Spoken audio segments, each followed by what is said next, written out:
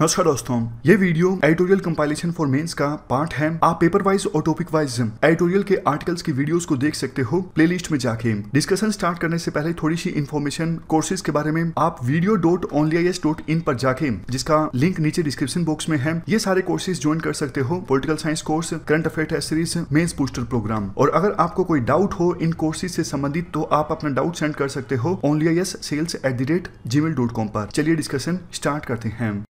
Next article sixteen Lok Sabha से संबंधित है आप जीएस पेपर टू के इस टॉपिक से आर्टिकल को रिलेट कर सकते हो। क्या कंटेस्ट है?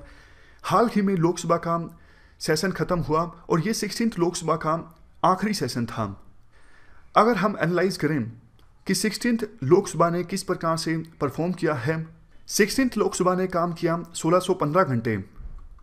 ये 40 परसेंट कम है मैक्सिमम फुल टाइम पार्लियामेंट की वर्किंग का।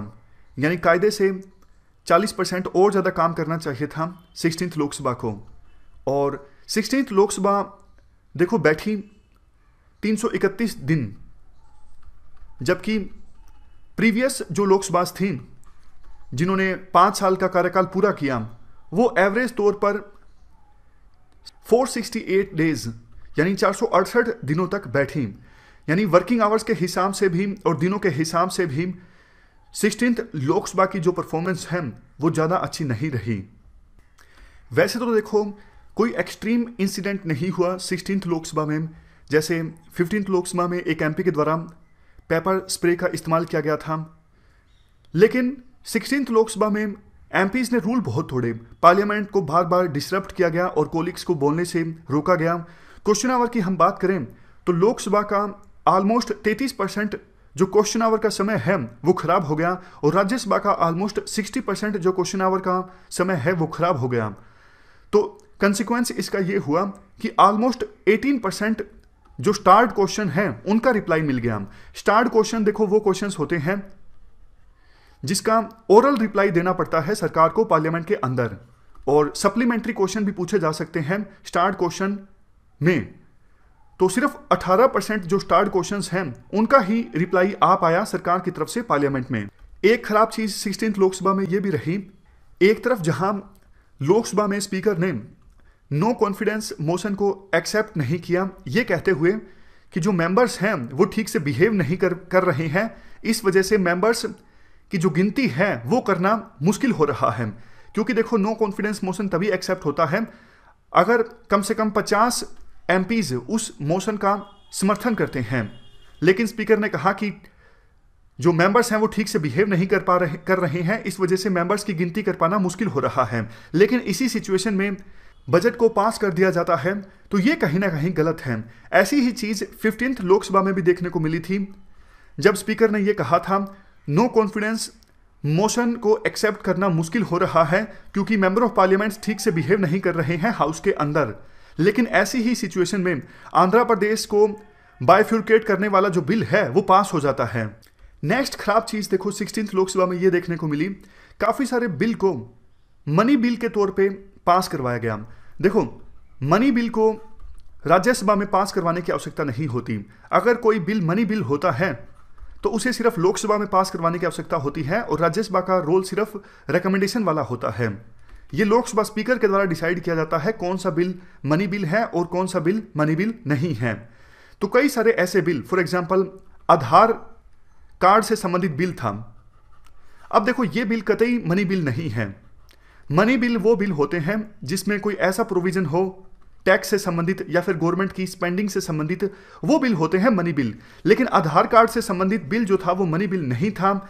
लेकिन गवर्नमेंट ने इसे मनी बिल के तौर पे पास करवाया तो ये पार्लियामेंट्री कन्वेंशंस के लिए कहीं ना कहीं अच्छी बात नहीं है।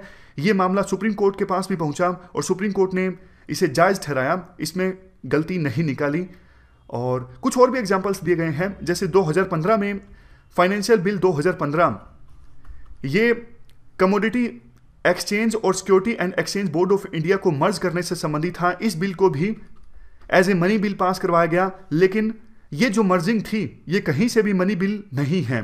दूसरा, फाइनेंशियल बिल 2016 इस बिल में फॉरेन कंट्रीब्यूशन रेगुलेशन एक्ट में अमेंडमेंट किया गया, लेकिन ये भी कहीं से भी मनी बिल नहीं है। उसके बाद 2017 में फाइनेंशियल बिल 2017 इसमें तो देखो काफ़ी सारी चीज़ें की गई थी। जो 19 क्वेसी जुडिशियल बॉडीज हैं, उनके कंपोजिशन को चेंज किया गया। काफ़ी सारे जो क्वेसी जुडिशियल बॉडी हैं, उनको मर्ज कर दिया गया। कुछ नई बॉडीज बनाई गई। तो इसको भी as a money bill pass करवाया गया। यह भी गलत था, क्योंकि यह भी कहीं से भी मनी बिल नहीं था। तो यह चीज़ गलत है। अगर रूलिंग पार्टी की राज्यसभा में मेजोरिटी नहीं है तो उस बिल को आप मनी बिल के तौर पे पास करवा दो। तो ये तो देखो डेमोक्रेसी का मज़ाक उड़ाने जैसी चीज़ है। संविधान की वैल्यूज़ के अगेंस्ट है पार्लियामेंट्री कन्वेंशन के अगेंस्ट है, ये चीज़। राइटर का कहना है एंटी डिफेक्शन लॉ को देखो, फिर से रिव्यू करने की आवश्यकता है। होता क्या है, अगर किसी पॉलिटिकल पार्टी के द्वारा फॉर एग्ज़ाम्पल बीजेपी के 280 एमपीज हैं लोकसभा में, और किसी अहम बिल पर वोटिंग होनी है तो अगर वीप जारी कर दिया जाता है बीजेपी के द्वारा अपने एमपीज को कि आप इस बिल के पक्ष में ही वोट कीजिए अगर इस वीप के खिलाफ बीजेपी का कोई एमपी जाके वोट देता है तो उस एमपी की सदस्यता चली जाएगी एंटी डिफेक्शन लॉ के अकॉर्डिंग तो होता क्या है? इससे देखो पार्लियामेंट में जो एमपीज हैं, अपना इंडिविजुअल पक्ष सामने नहीं रख पाते। 280 के 280 जो बीजेपी के एमपीज हैं, कुछ एमपी तो ऐसे भी होंगे जिनका जो व्यू है, वो बिल के खिलाफ होगा, लेकिन वो बिल के खिलाफ वोट नहीं दे सकेंगे, क्योंकि अगर वो बिल के खिलाफ जाके वोट देंगे तो उनकी सदस्यता रद्द हो जाएगी। ये देखो डेमोक्रेसी के अगेंस्ट है। तो एंटी डिफेक्शन लॉ को फिर से रिव्यू करने की आवश्यकता है। इवन कोयलेशन भी जब होता है सत्ता में तो भी जो एलाय दल होते हैं फॉर एग्ज़ाम्पल अभी बीजेपी के साथ शिवसेना है। तो शिवसेना के एमपीज का भी तो व्यू अलग हो सकता है ना। लेकिन अगर बीजेपी शिवसेना के लीडर उद्धव ठाकरे को मनाने में कामयाब हो जाती है तो उद्धव ठाकरे की जो पार्टी है, वो भी वीप जारी कर देगी और शिवसेना के पार्टी के जो एम हैं, उनकी भी नहीं चलेगी। तो कुछ ही लोगों की मर्ज़ी चलती है, कौन सा बिल पास होना है, कौन सा बिल पास नहीं होना है। होना यह चाहिए कि लोकसभा में तो देखो 545 रिप्रेजेंटेटिव्स हैं, सबकी चलनी चाहिए ना। इंडिविजुअल एमपी के जो व्यूज़ हैं, उनकी कोई रिस्पेक्ट नहीं है। ज़िम्मेदारी उनकी बहुत है। जनता ने उनको चुना है। वो जनता के प्रति अकाउंटेबल हैं, लेकिन उनकी आवाज़ को कोई सुनने वाला नहीं है पार्लियामेंट में। इस वजह से एंटी डिफेक्शन लॉ को रिव्यू करने की आवश्यकता है। लास्ट में बोला जाता है कि कुछ अच्छे बिल्स पास हुए हैं। सिक्सटीन लोकसभा में उनका मेंशन करना बहुत ज़्यादा ज़रूरी है। जैसे GST bank code IM act juvenile justice act और कई सारे नए बिल पास हुए और एक्ट बने।